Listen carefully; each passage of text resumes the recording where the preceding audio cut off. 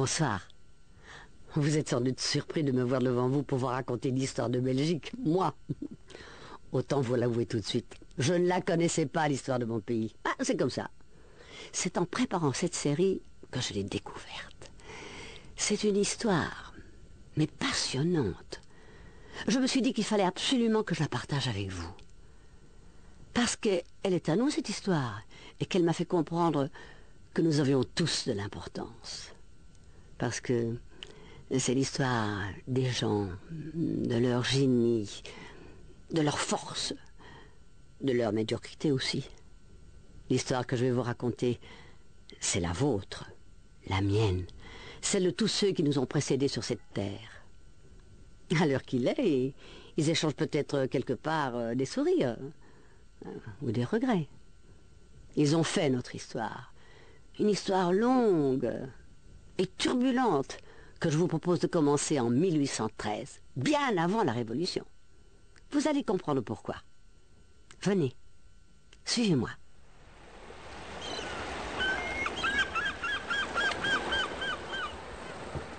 En ce temps-là, le vent poussait les voiliers sur les mers.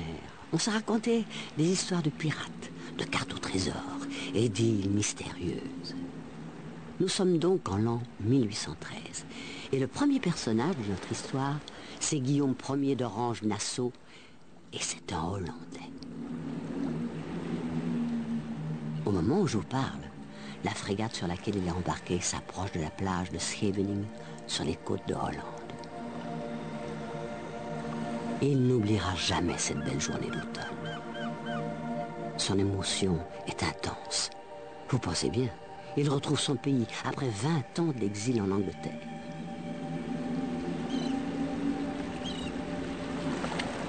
Quand il débarque sur la plage de Scheveningen, on l'accueille, on l'acclame, il sera roi. Il le sait. Et son peuple le souhaite.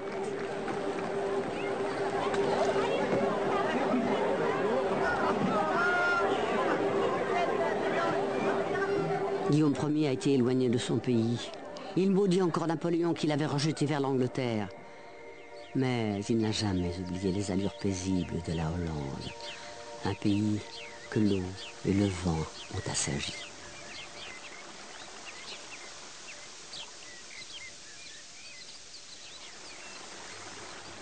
Guillaume Ier ne revient pas la tête vide. Il est chargé d'une mission secrète qui aurait dû l'effrayer. Tenez, observez-le bien. Il a dans le regard comme une appréhension.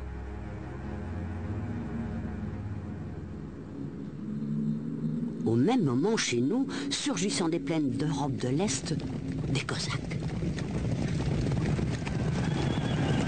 Terrible Personne n'en avait jamais vu. C'est ahurissant. Mais qu'est-ce qu'ils font dans nos rues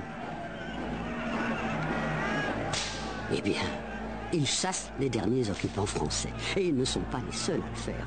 On voit des Autrichiens, des Prussiens, des Suédois, des Anglais, tous unis contre Napoléon. Ils ont des armes étincelantes qui impressionnent tout le monde.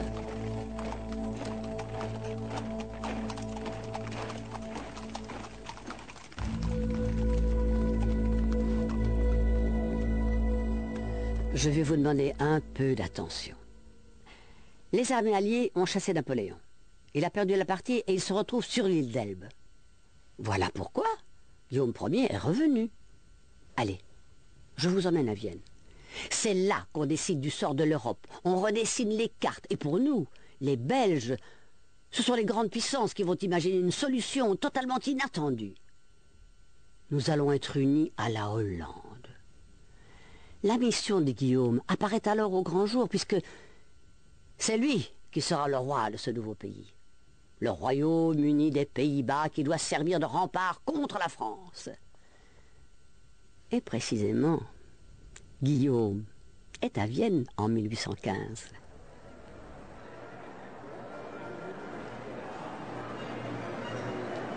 Et à Vienne, c'est la fête, tous les jours, pendant près d'un an. On n'a jamais vu autant de têtes couronnées. Toutes les cours d'Europe sont à Vienne. Et on s'amuse, vous pensez bien. On mange, on boit, on valse. La défaite de Napoléon, mais ça s'arrose, on ne va pas s'en priver.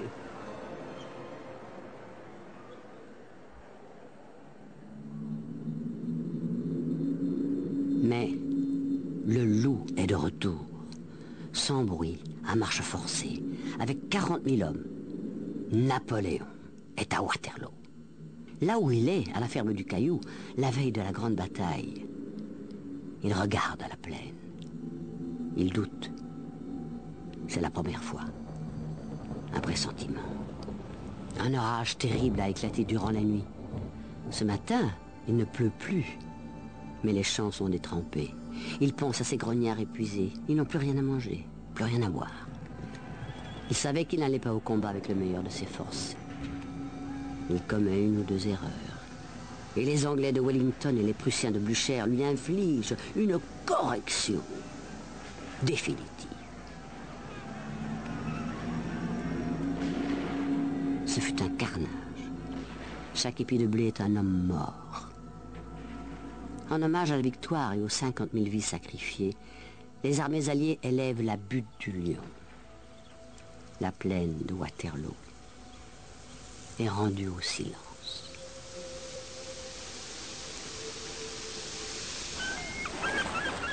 La paix est revenue. L'Europe retrouve la sérénité. Guillaume redécouvre son pays natal, ses marins intrépides et ses commerçants, qui ont été jusqu'en Indonésie pour fonder la Compagnie des Indes néerlandaises. De religion protestante, les Hollandais sont plutôt respectueux des conventions. Peu nombreux sur cette sorte de radeau entre terre et mer. Deux millions et demi à peine. Guillaume est à l'image de ce pays. Calculateur et déterminé. Ses ouvrages préférés, ce sont les bilans de société. Il parle peu. Il compte même ses mots. Son royaume est une entreprise. Le 21 septembre 1815 à Bruxelles, c'est le grand jour. Guillaume Ier va prêter serment devant les Belges. Le ciel retentit de sang un coup de canon. Les rues sont noires de monde.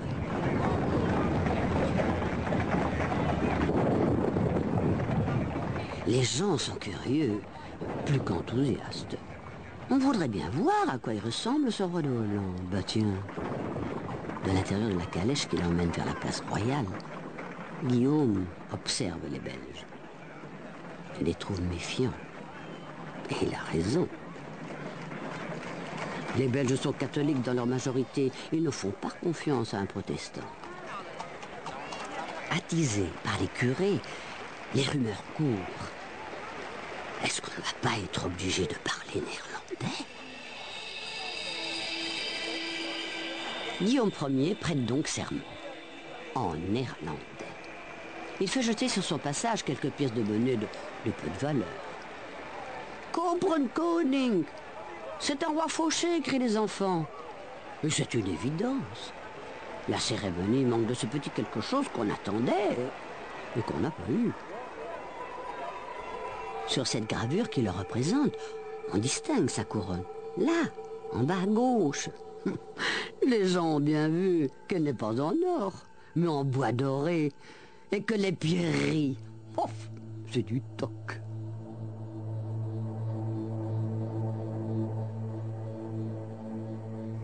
Et nous, les Belges, qu'est-ce qu'on a eu à dire là-dedans? Eh ben rien. Forcément, on n'a pas le droit de vote. On n'était pas d'accord. Mais on a dû la fermer. Nous sommes devenus les provinces du Sud. On se retrouve avec un roi qui ne parle pas notre langue, qui est protestant, et sur les dix ministres de son gouvernement, un seul. Vous m'entendez? Un seul est belge. Nous sommes amalgamés aux Hollandais. Nous sommes plus nombreux qu'eux. Et nous sommes les plus mal servis. Oh non, mais ça commence fort.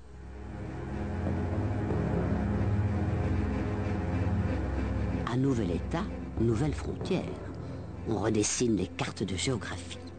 C'est l'occasion de voir à quoi ressemblaient les provinces du Sud, c'est-à-dire la Belgique à cette époque.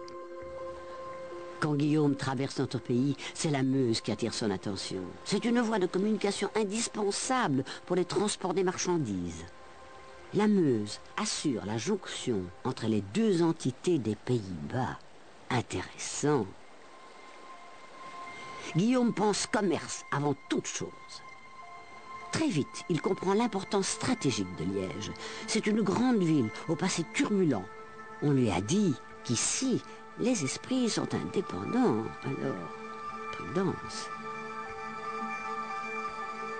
À cette époque, un seul pont sur la Meuse, le pont des Arches, et 50 000 habitants. Seule la rive gauche est construite. Curieusement, Liège lui rappelle l'Angleterre. Charleroi est une toute petite ville. Elle est toujours entourée des fortifications que Vauban lui a construites. Dans les environs immédiats de la ville, on extrait le charbon. Avec la Sambre qui rejoint la Meuse à Namur, les provinces du Sud disposent de larges voies d'eau. Il faudra en créer d'autres, pense Guillaume. Ces provinces du Sud ne manquent pas d'atouts, sans compter le port d'Anvers. Son rôle est capital. Dans les nouvelles frontières, l'embouchure de l'Escaut et Anvers appartiennent aux Pays-Bas qui comptent désormais un nouvel accès à la mer.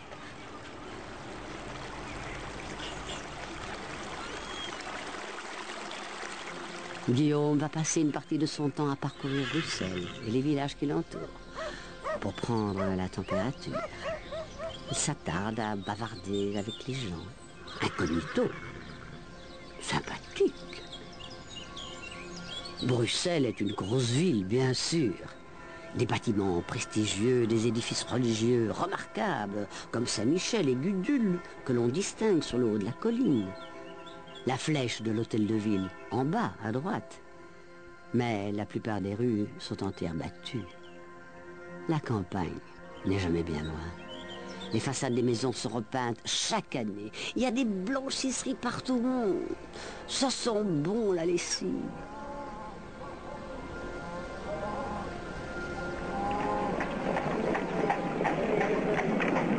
Dans les années 1815, Bruxelles compte 75 000 habitants. Parfois, c'est la grande foule le dimanche, comme ici, quand il y a des attractions. On voyage peu. Rendez-vous compte, 50 heures de diligence pour aller à Paris. En hiver, les bourgeois de Bruxelles sortent leur traîneau. Guillaume alors a l'impression de se retrouver à Amsterdam. Bien entendu, c'est vers la Grande Place que l'on est attiré. Sur le marché, on rencontre tout le monde et on trouve de tout. Des fruits, des légumes, de la quincaillerie et des pickpockets qui rôdent aussi rue de l'étuve où le mannequin est un ouvrage indifférent à la curiosité des gens. Ici, nous sommes au port de Bruxelles, à proximité de l'actuelle place Sainte-Catherine. Les grues déchargent les bateaux. Beaucoup d'activités à Bruxelles qui exportent sa dentelle partout dans le monde. On fixe les prix ici à la halle drap. Et la dentelle, ce n'est pas donné, croyez-moi.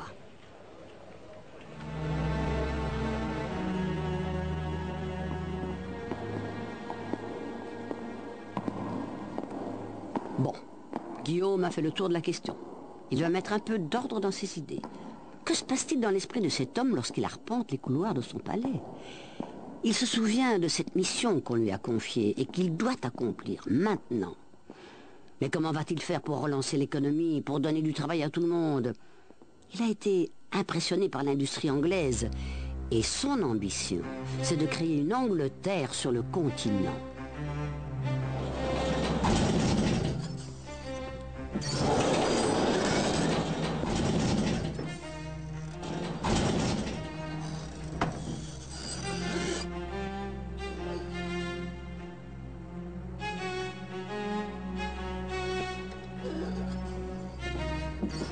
Ce coffre secret qui s'ouvre devant vous, c'est le tout premier coffre de la Société Générale des Pays-Bas. Une idée de génie de Guillaume Ier. La Société Générale sera la première banque industrielle, un outil financier au service des entreprises. Si la métallurgie existe, c'est grâce à ce Hollandais dont on s'est tant méfié. Il s'était juré de faire aboutir son projet. Il lui fallait donc une banque pour stimuler l'économie du royaume, pour que les cheminées des usines crachent nuit et jour. Il avait envoyé des chasseurs de tête à travers toute l'Europe.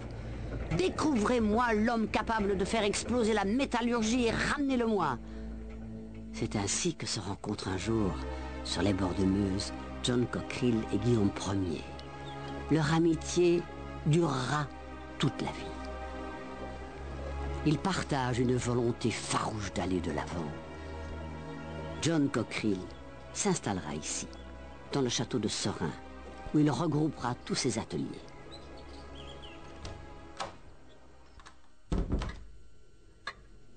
Son bureau de travail Une cellule, où la pendule lui rappelle que time is money. John Cockerill a 27 ans, le voici. C'est un jeune homme exceptionnel, un surdoué. Il entretient une correspondance avec les plus grands. Sa réputation est internationale. Cockerill est un phénomène. L'argent qu'il gagne, il l'investit aussi vite dans de nouveaux projets. Il n'a jamais un franc en poche. Il joue le tout pour le tout. Incroyable ce Cockerill. C'est donc à Serein qu'il met au point les techniques et les procédés qui permettent à l'industrie d'atteindre des sommets. Dans les bâtiments réaménagés, on fabrique des machines à vapeur, des métiers à tisser mécaniques, des bateaux, on maîtrise la technique de l'acier, des hauts fourneaux. Cockerill a besoin d'argent. La nouvelle Société Générale lui avancera les fonds nécessaires. Guillaume Ier lui ouvrira des crédits sur sa fortune personnelle. On ne refuse rien à John Cockerill. C'est lui qui fait bouillir la marmite industrielle, chez nous, dans les provinces du Sud, à Liège.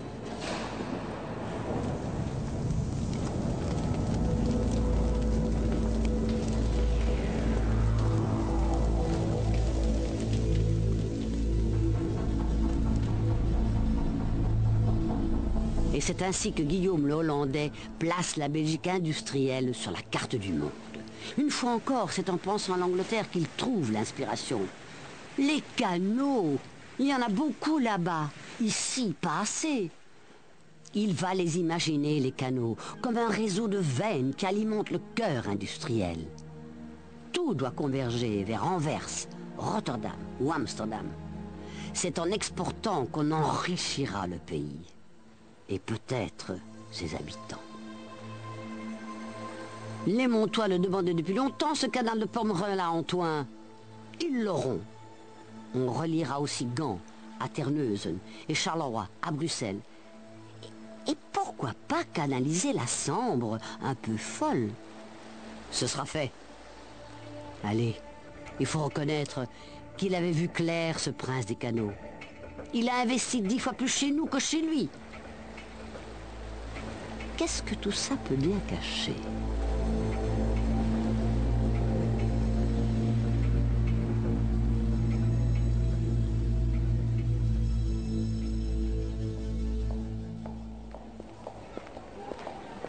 Je vous l'avais dit, Liège n'a jamais laissé Guillaume indifférent.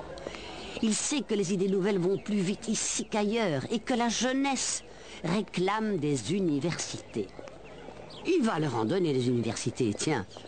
Une à Gand, une autre à Louvain et une troisième à Liège.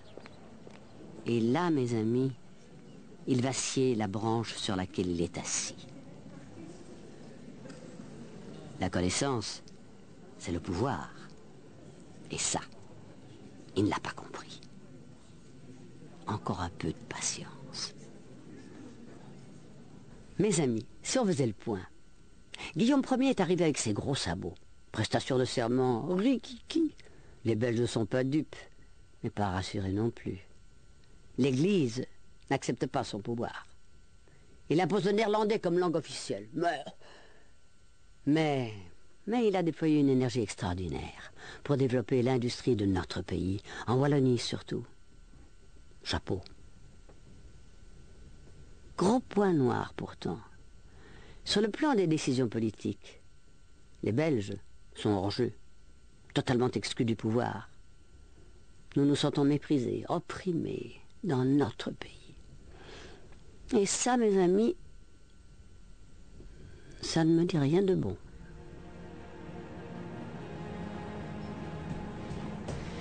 Dans quelques instants, nous allons rencontrer un autre personnage important de notre histoire. Si nous sommes ici, aux archives de l'Université de Liège, c'est tout simplement parce que nous voulions retrouver les traces de l'étudiant qu'il a été. Je vous présente Charles Rogier. Il est né en 1800 à Saint-Quentin dans le nord de la France, de parents belges. Vous avez sous les yeux le carnet dans lequel les professeurs du collège notaient leurs appréciations au sujet de l'élève Rogier. Je cite Étude excellente, conduite excellente, honnête, doux, fort docile, très sensible et bien disposé à l'application.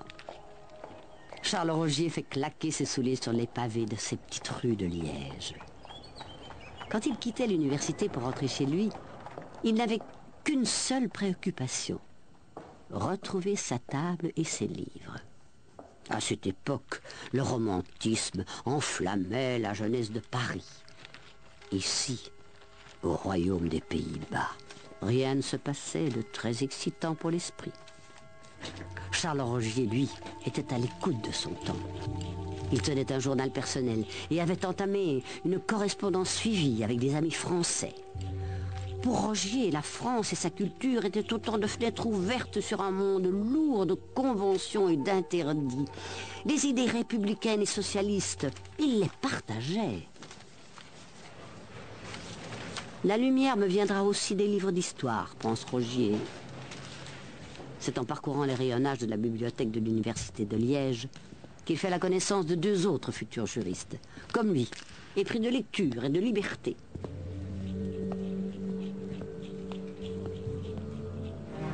Joseph Lebeau, fils d'un petit commerçant de Huy. Lebeau fait 30 km à pied chaque semaine pour rejoindre l'université. Et Paul Deveau, étudiant en droit, lui aussi. Mes amis ne se quitteront plus. On ne pouvait pas voir l'un sans apercevoir les deux autres. Ils en ont tourné les pages de ces livres de droit. Quelques-uns étaient encore des manuscrits.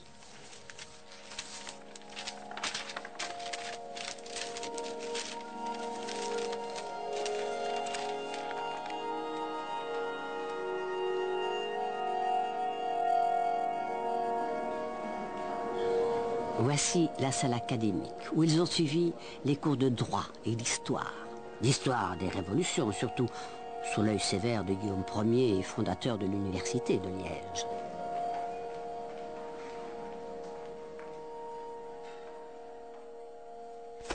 Les trois amis, désormais inséparables, se rencontrent dans une petite mansarde le soir à la lumière des bougies. Ils partagent leurs réflexions, ils débattent, ils plaident. Voilà donc trois jeunes gens, tous dans la vingtaine ou à peu près, animés par un souffle nouveau, embarqués dans une aventure qui n'a rien d'éphémère. Ils sentent confusément que l'histoire pourrait leur appartenir.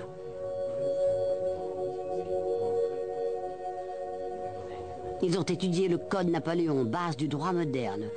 Les mêmes lois s'appliquent à tous, ils ont lu les grands philosophes, les écrivains romantiques. Ils sont persuadés que l'homme doit prendre son destin en main, qu'il est responsable de son avenir. Ils l'ont écrit. Nous avons retrouvé leur cahier de notes. La société, on peut la changer. Rogier, Lebeau et Deveau sont emportés par une passion commune pour les grandes causes. Cette passion gouvernera leur vie entière.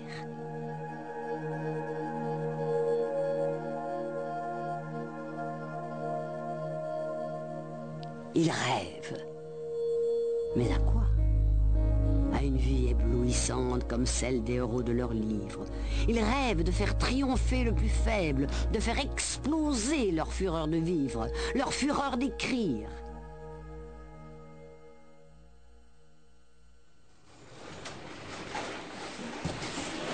Mais la presse est aux mains du pouvoir hollandais. Les journaux officiels pratiquent la censure. La presse n'est pas libre. Le peuple ignore tout de ce qui se passe dans son pays. Les imprimeurs belges sont très nombreux. Ils font fortune en publiant les romans d'auteurs français sans leur payer leurs droits. Bravo. Et ils découvrent un nouveau marché. Et c'est l'explosion. Entre 1825 et 1830, 27 journaux naissent à Bruxelles et dans nos provinces. Le courrier de l'Escaut, le courrier de la Meuse, le courrier des Pays-Bas. Les Belges se précipitent sur les journaux. Les machines tournent à plein régime. Chaque journal tire à 3000 exemplaires. C'est considérable. Les journalistes que l'on appelle publicistes commencent à dénoncer les abus du pouvoir hollandais.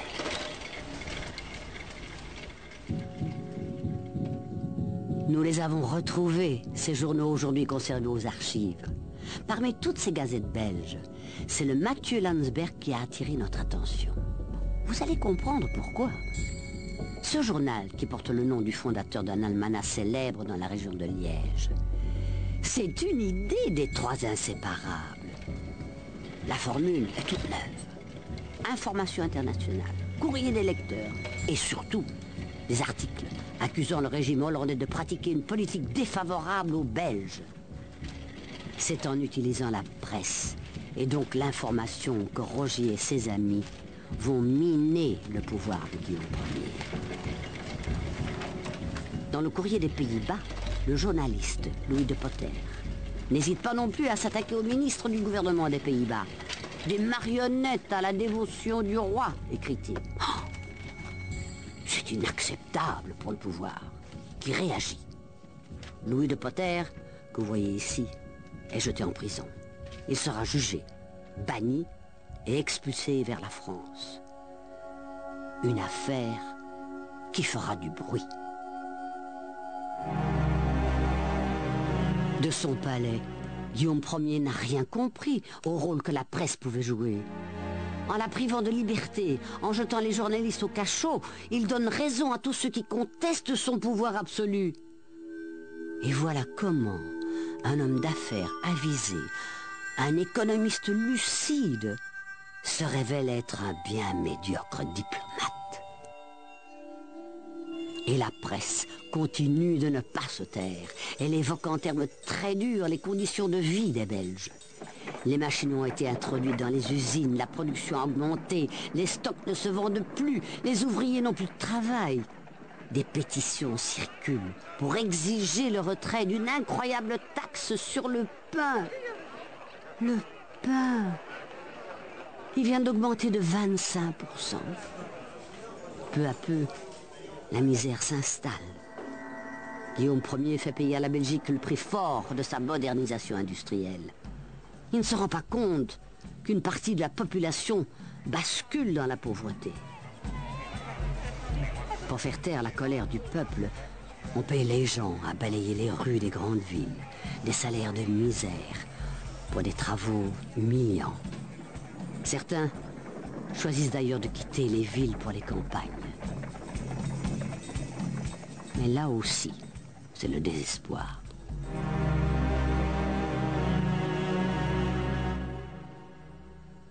La Belgique va mal. Les gens ont faim. Des fortunes immenses se sont faites sur le dos de la population. Faut que ça change.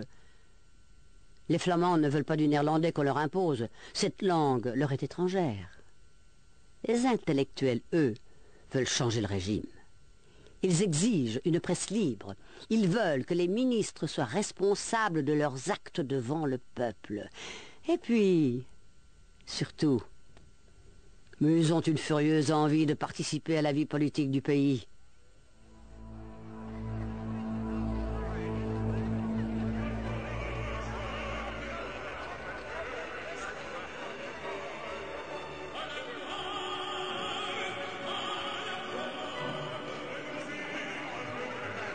Le 25 août 1830, au programme du théâtre de la Monnaie, la Muette de Portici, un opéra qui évoque la révolte des Napolitains contre les Espagnols. Dans la salle, des bourgeois, des jeunes intellectuels. Le spectacle a déjà été interdit, mais aujourd'hui, c'est spécial.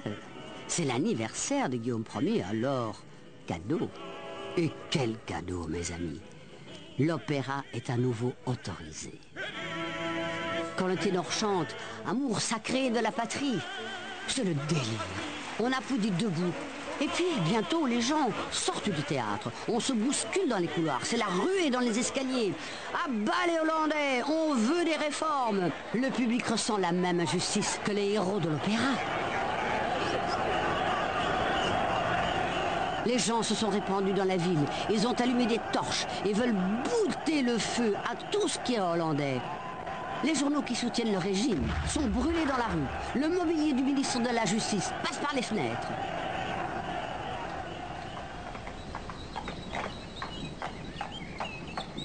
Nous sommes à Liège. La révolte gronde ici aussi. Et les nouvelles des émeutes de Bruxelles arrivent par la malposte.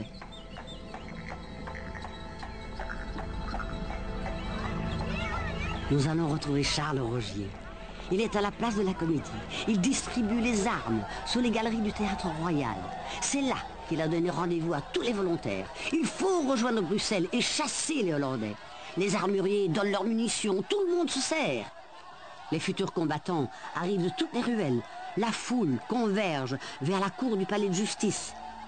Ici, on compte plus de 1500 volontaires bien armés. Parmi eux, un valeureux grognard de Napoléon qui a perdu une jambe en Russie. Il est là, charlier à la jambe de bois avec son canon. La troupe improvisée se met en route. Mais les hommes ont avalé des péquets. Beaucoup de péquets. Et on en perd en chemin qui s'écroule dans les fossés ou change d'idée. La troupe quitte Liège par Pierreuse et le faubourg Sainte-Marguerite, puis les chemins de campagne vers Wavre, et à pied.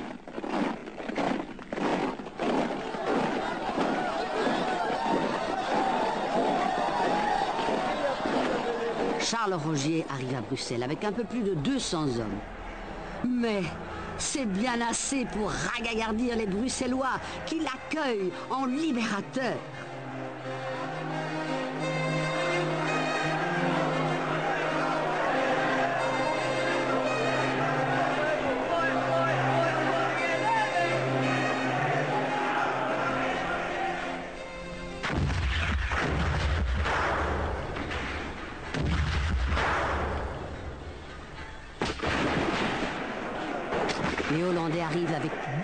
17 000 hommes et 52 pièces d'artillerie. Nous, on est 2000. On n'a pas de commandement. Les bourgeois et les notables ont déserté la ville. Même Rogier a eu peur. Il s'est enfui dans la forêt de Soigne. Les Bruxellois dressent des barricades. Faudra se battre avec toutes ses dents.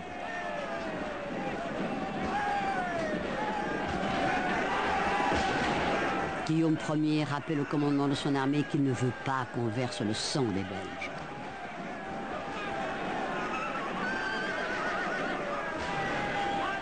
Les troupes hollandaises finissent par marcher sur Bruxelles.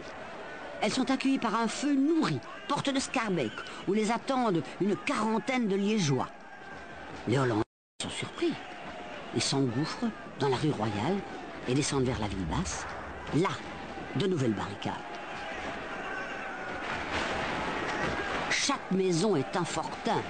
Les citoyens bruxellois balancent tout ce qu'ils peuvent sur les troupes hollandaises. Sous chaque tuile, il y a un fusil. L'armée hollandaise croyait devoir calmer quelques rebelles. Elle était tripée par des troupes la mort. Et voilà les Hollandais dans le parc de Bruxelles pris au piège.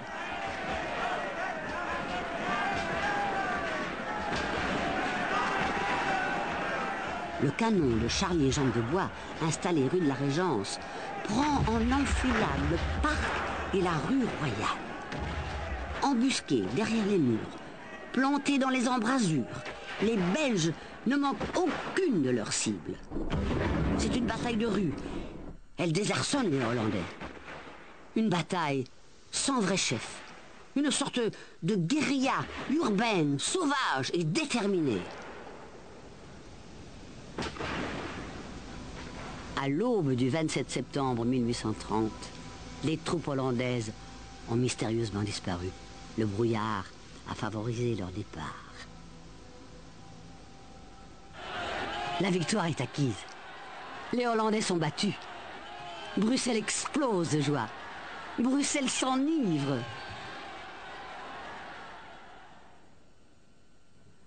De cette journée héroïque, que reste-t-il? Cette balle, plantée dans un livre, comme une relique du 27 septembre 1830.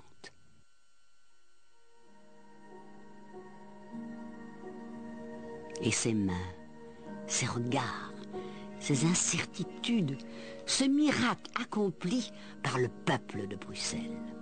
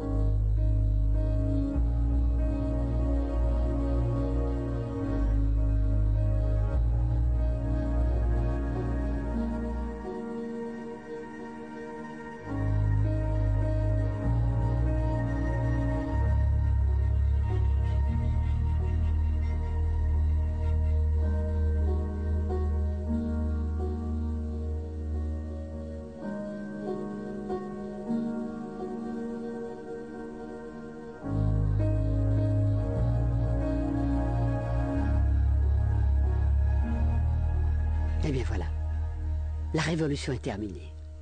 Nous nous sommes battus. C'est vrai, 500 morts et plus de 1000 blessés, nos martyrs.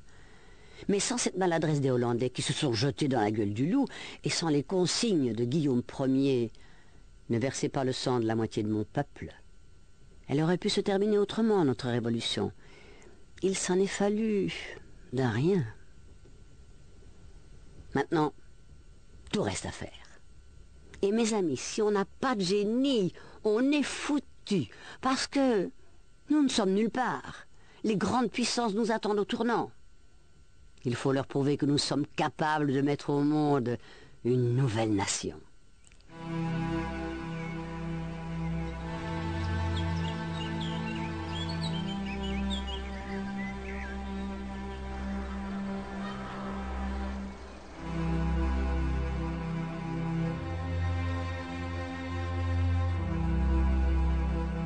Sont eux qui vont prendre les premières décisions de l'histoire de la Belgique indépendante. Ils sont tout jeunes. Moyenne d'âge de ce gouvernement provisoire, 37 ans. Charles Rogier y est. C'était écrit. Avec Louis de Potter, le journaliste. Vous vous souvenez? Ils sont dix, catholiques et libéraux. Ils détiennent toutes les compétences d'un vrai gouvernement. Et les choses ne traînent pas. Le 18 octobre 1830, le comité central décide d'élaborer un projet de constitution. Un congrès national est convoqué pour l'examiner et l'adopter. Chacun flotte dans son rêve. Chacun est dans son histoire et dans son idéal. Ces étudiants, jadis privés de tout pouvoir, sont aujourd'hui à la tête de l'État.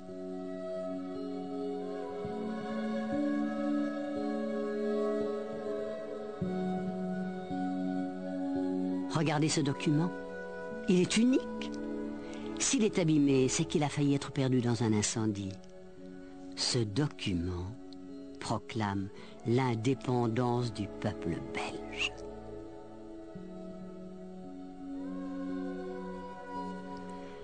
Le premier drapeau tricolore, c'est elle qui l'a cousu. Vite fait, mais bien fait pendant la Révolution.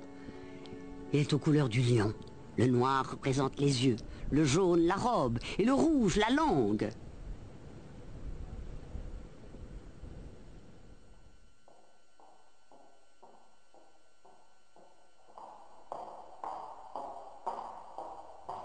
La Constitution, la voici, on nous la porte.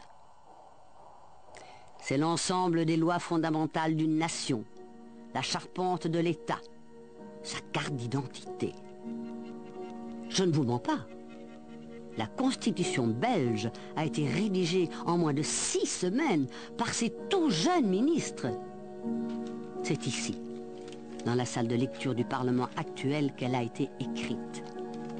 À la main, en 1831. La Constitution prévoit notamment que les ministres sont responsables de leurs décisions devant la nation. Que l'État belge est unitaire et que le peuple a des droits et des libertés.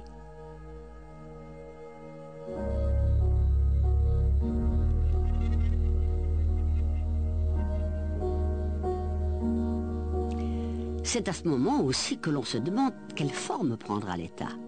Si ce sera une république ou une monarchie. Paul Devaux et Joseph Lebeau plaident pour la monarchie. Si nous décidons d'avoir un roi, il n'aura aucun pouvoir, mais il garantira l'ordre et la stabilité du pays. Qu'est-ce que vous en dites? Tout le monde est d'accord, ou à peu près. C'est oui à la monarchie. Et si c'est oui à la monarchie, il faut se trouver un roi. Notre futur roi est d'origine allemande.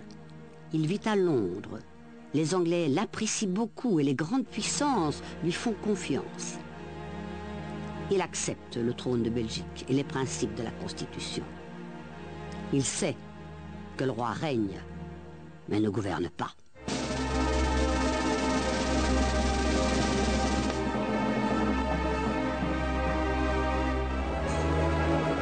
Nous avons un roi à nous. La nouvelle se répand à la vitesse de l'éclair. À Londres, on a proclamé la neutralité de la Belgique. Personne ne nous attaquera plus. C'est la fête dans toutes les villes. On a le sentiment qu'un destin vient de s'accomplir. Le roi est là. On ne l'a jamais vu, mais on l'attend pour l'accueillir. Il s'appelle Léopold de Saxe-Cobourg. Il sera le premier roi des Belges. Le 21 juillet 1831, Léopold Ier entre à Bruxelles. Les Bruxellois ont jeté des fleurs sur les pavés. Des détachements de cavalerie précèdent les volontaires de la Révolution. C'est le délire. Partout on entend « Vive le roi Vive le roi !» Adossé à l'église de Saint-Jacques sur Codenberg, le trône royal est surmonté d'un dais, or et blanc. Le roi prête serment sous un tonnerre d'acclamations. C'est extraordinaire. Et ça s'est fait si vite qu'on a peine à y croire. Pourquoi tant d'exaltation? Parce que le roi incarne l'indépendance, la paix, la sécurité, et qu'on en a drôlement besoin. Voilà Léopold Ier, tout jeune, des yeux de séducteur romantique et une volonté farouche d'avaler le monde. Il est né à Cobourg, en Bavière. Sa vie est exceptionnelle. Tenez-vous bien, il a été général dans l'armée russe. Napoléon a failli en faire son aide de camp. Et puis, voilà qu'en 1815, il demande la nationalité anglaise. Il épouse Charlotte, princesse d'Angleterre, dont il est follement amoureux. Hélas, elle mourra peu de temps après leur mariage. Léopold est un vrai diplomate. Il fréquente toutes les cours d'Europe. Il parle russe, italien, grec, anglais. Il a voyagé partout. Il respire au rythme de son temps. Il épousera bientôt Louise-Marie d'Orléans, la fille du roi de France. Il a 41 ans au moment où il prend les commandes de notre pays.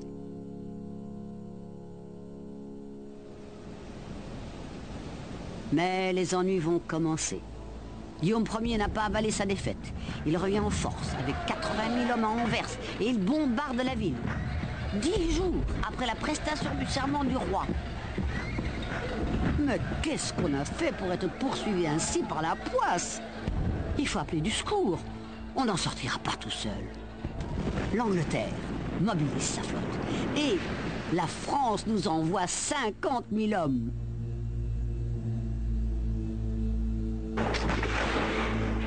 Le roi Léopold est aux côtés de ces hommes. Guillaume Ier abandonnera très vite la partie. Mais ce coup de griffe du Hollandais nous a fait mal. La Belgique n'est pas aussi solide qu'on l'imaginait. Léopold Ier a reçu une gifle. Il pense abdiquer. Mais il ne le fera pas. Toute cette affaire va nous empoisonner l'existence pendant dix ans. La Belgique et la Hollande vont se regarder en chien de faïence. Les bateaux qui entrent à Anvers doivent payer des droits de passage exorbitants à la Hollande, et nous avons été obligés d'acquitter la moitié de la dette des anciens Pays-Bas. Ça fait lourd. Mais c'est le prix de notre indépendance. Nous avons un roi, un gouvernement. Les Belges croient en leur pays. On va voir ce qu'on va voir. Ce petit pays doit devenir une grande nation. Il faut étonner le monde. Et on va l'éblouir, le monde. C'est chez nous que le premier chemin de fer du continent sera inauguré. Cinq ans à peine après l'indépendance. Quelque chose de magique est occupé à se produire.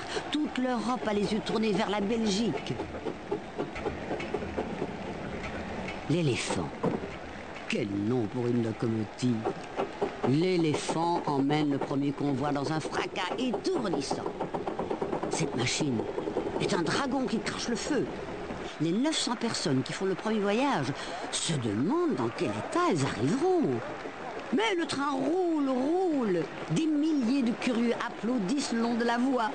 Et on finit par se moquer des craintes que certains évoquaient avec frayeur. Le train va trop vite, le sang va bouillir dans les artères et le lait des femmes enceintes va tourner. Et toute cette aventure a commencé avec la première ligne bien modeste qui reliait l'allée verte de Bruxelles à Malines en 1835.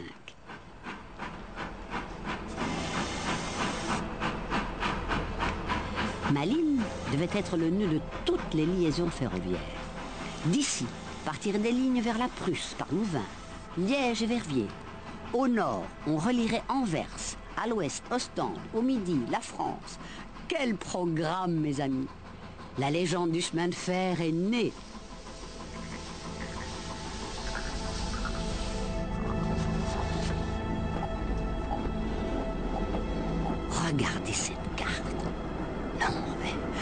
C'est une merveille. C'est le premier dépliant touristique des chemins de fer. Les Belges découvrent un pays, le leur, qu'ils ne connaissaient pas. Et ça, ça c'est fabuleux.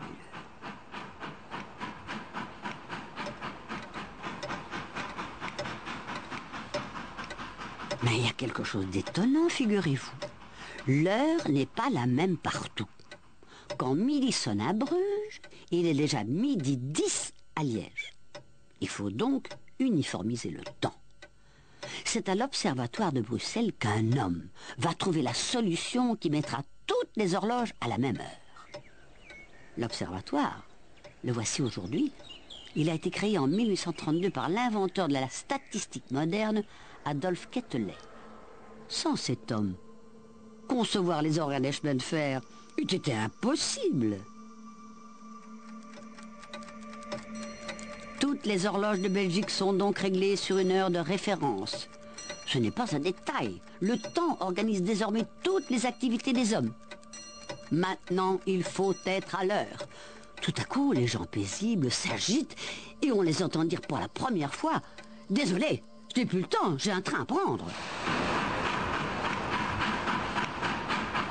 Une véritable frénésie s'empare alors des Belges. On invente à tour de bras. On n'a jamais déposé autant de brevets que dans les années 1840.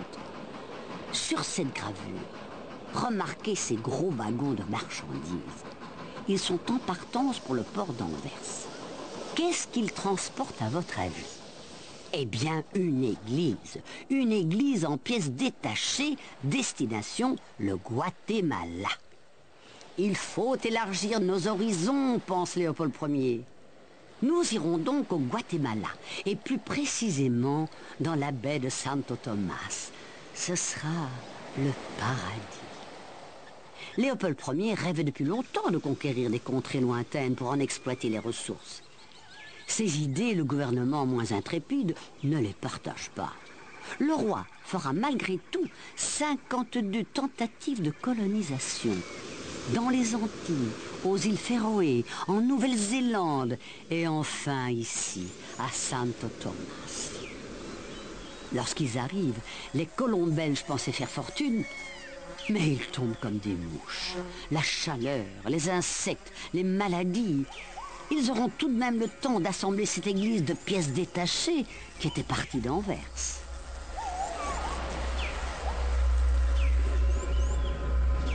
Mal informé, le roi s'obstine. On engage de nouveaux volontaires en leur cachant la vérité. Ici, à Santo-Thomas, les menuisiers ne clouent plus que des cercueils.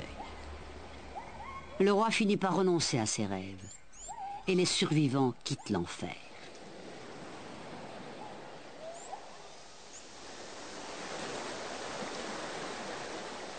Le temps continue de se perdre dans l'histoire. La Belgique est fragile. Elle va bientôt vivre des heures plus angoissantes encore que toutes celles que nous avons évoquées. Les personnages que nous avons rencontrés, les héros de notre histoire, se sont à jamais endormis dans un autre temps. Certains nous ont égarés dans leur délire, d'autres nous ont réunis dans l'espoir. Leurs songes, comme des filets de brume, se sont accrochés au rivage. Ils ont parfois confié leurs rêves les plus secrets aux rivières silencieuses qui les emportaient vers la mer. Les images qui se sont inscrites dans leur mémoire sont aujourd'hui entrées dans la nôtre. Nous marchons sans le savoir dans les traces qu'ils nous ont laissées, mais que le vent, l'herbe ou la pierre ont effacées depuis longtemps. Ils nous ont fait signe sans nous voir. Nous leur avons répondu en les regardant, dans les yeux.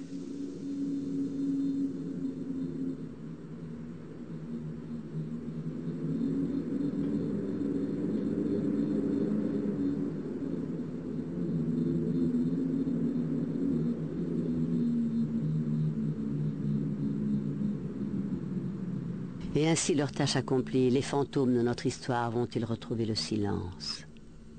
Le plus modeste comme le plus orgueilleux d'entre eux ont fait naître ce pays dont nous sommes aujourd'hui les héritiers. Mais au moment de refermer la première partie de cette histoire, nous tremblons déjà pour la Belgique. La semaine prochaine, nous serons en 1848. Partout en Europe, les peuples affamés se révoltent, les monarchies sont balayées. Mais Comment la toute jeune Belgique va-t-elle résister à ces nouvelles épreuves? Mais vous le saurez bien sûr la semaine prochaine. Bonne soirée.